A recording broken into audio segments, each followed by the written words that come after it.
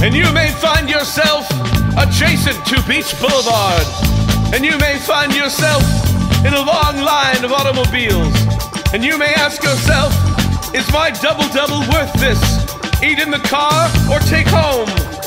And you may ask yourself, my God, will I ever get out of here? Just want some animal fries, stuck in the In-N-Out line. Just want some animal fries, but for miles and miles and wide. They should build another